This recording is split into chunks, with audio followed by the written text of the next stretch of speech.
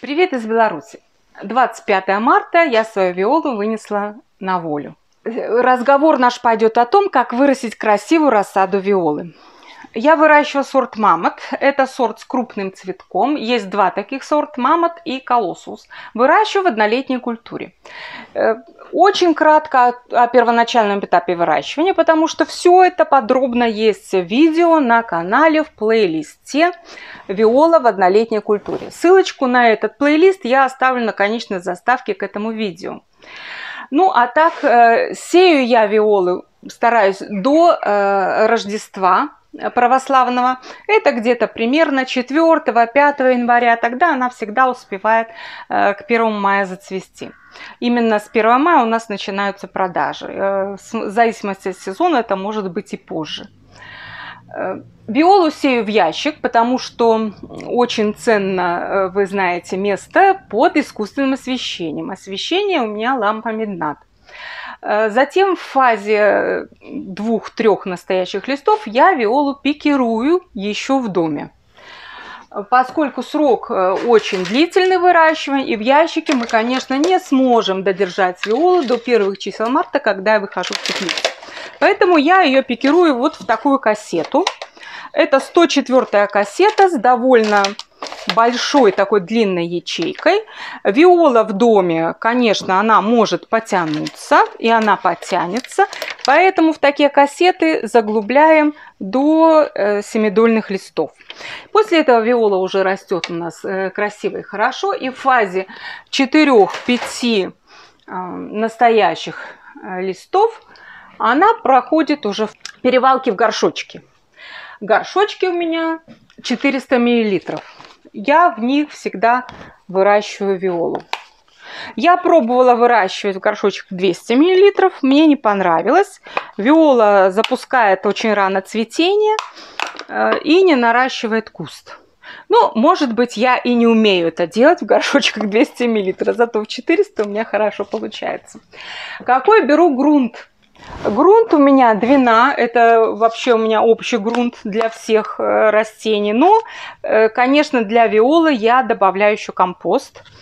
Э, один к двум. Одна часть компоста и две части грунта двина. Грунт получается такой уже смешанный, очень рыхлый и питательный. Теперь о подкормках. Кормить ли до пикировки? Э, я поступала по-разному, в зависимости от сезона. Одна подкормка кальция селитра или вообще без подкормок. Вот эта виола выращена в этом году без подкормок до пикировки.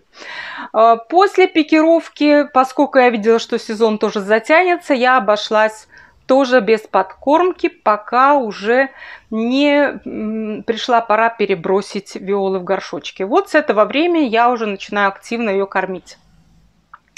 Первую подкормку сделала через где-то 6-7 дней после перевалки, когда было видно, что виола уже хорошо прижилась и начала расти по листу кальциевой селитрой. Следующая подкормка у нас направлена на то, чтобы э, развивать корневую систему виолы. А это значит, что в удобрении должен преобладать фосфор. У меня есть линейка удобрений кристаллон – я пользуюсь кристаллоном желтым, кристаллоном особым и кристаллоном красным. Это удобрение в хелатной форме с микроэлементами. Значит, на первом вот этапе идет кристаллон желтый, корневая подкормка 1 грамм на литр. Когда мы уже видим, что корневая система у виолы хорошо развилась, пошла уже расти, это можно проверить, посмотреть. Ну вот, видно, да, что начинает уже она прорастать на горшочек. С этого периода я уже подкормок не делаю листовых, пользуюсь только корневыми. Корни растений нужны для того, чтобы добывать питательные вещества. Вот пусть они со своей ролью справляются. Поэтому, когда корневая система запущена в стадии 4-5 настоящих листов, у нас с вами главная забота – это развить пышный куст.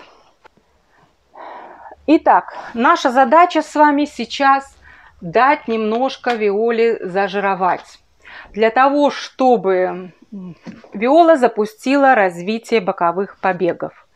Если мы с вами возьмем такие более развитые растения, большие, да, э, у нас с вами есть э, такие растения небольшие, допустим, да, и растения побольше.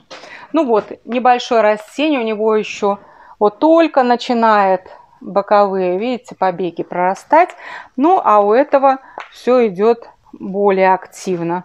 Вот он уже приступил к наращиванию куста. И сейчас мы поддержим эти оба растения для того, чтобы получить пышный куст виолы. Что касается полива, то я придерживаюсь такого правила, чтобы виола никогда не пересыхала или, по крайней мере, не стояла в этом состоянии долго.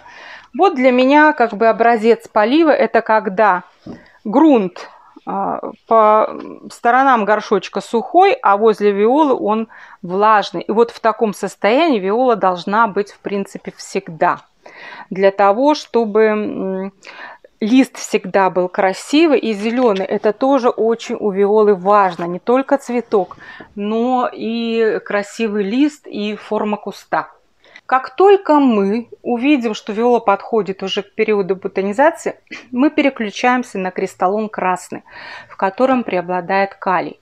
Сейчас будет наша задача уже поддержать бутонизацию и цветение для того, чтобы цветов было много и цветки были крупные и яркие. Э, кристаллон хорошо с этим справляется. И, в принципе, когда виола зацветает, э, наша задача по ее поддержке заканчивается. И опять-таки поддержать, если приходится какое-то время рассаду еще поддержать там где-то у себя, то, конечно, тоже поддержать ее можно кристаллоном красным. Ну вот э, основные такие вопросы, которые всех волнуют.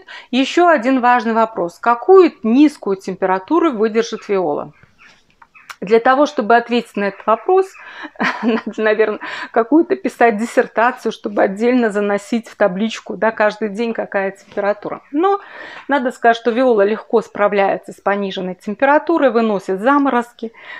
А, но надо помнить, что любые растения начинают усваивать питательные вещества при плюс 8 градусах. То есть, если будет очень холодно, то кормить виолу не стоит, это бесполезно. А потом, когда вы начинаете кормить, она не, корни не работают при низкой температуре, а вы еще одну подкорм, корни опять не работают. А потом они как заработали, а там столько всего в горшочке, что идет такой взрыв роста, и она может э, и, уйти в, в такую вот вытянутую форму с одним цветком. Поэтому будьте в этот период, э, в период пониженных температур, аккуратны с подкормкой. Э, вот. Виола не затормозит, в отличие от петуни от низких температур, но и особо расти, допустим, в ночные периоды, когда холодно не будет. Но зато будет наверстывать за день. Э, поэтому э, виола имеет такой длительный период выращивания, потому что мы ее, собственно говоря, первую выносим да, на волю в холодное место. Она же у меня первый кандидат на выселение на улицу, когда надо для других растений освободить место. И может она попасть и под холод, и под заморозок. Поэтому и рассчитываются сроки посадки для того, чтобы успеть к сезону продаж цветения. Эти сроки у вас должны быть определены опытным путем, потому что ни, а, ни один чужой опыт не может стопроцентно вам подойти, потому что как не подходит сто процентов условия одного к условиям другого. Э, Все нарабатывается только через свой опыт. Вот помните об этом, что Ничего нельзя брать 100% от э, какого-то там человека или блогера. Всегда надо думать о том, какие у вас условия. Надо уметь смотреть на растения, читать их потребности, изучать их, пробовать. И тогда вы точно подберете ключик к любому растению, в том числе и к виоле. Ну что ж, я желаю вам успехов. Я думаю, я ответила на ваши вопросы. Ну а если будут какие-то еще, я обязательно отвечу, если смогу. Ну что ж, у меня на сегодня все. Если вам понравилось, ставьте лайки, заходите на канал, посмотрите видео. Если понравится, подписывайтесь. Ну а мне пора прощаться. До свидания. Надеюсь, до скорого.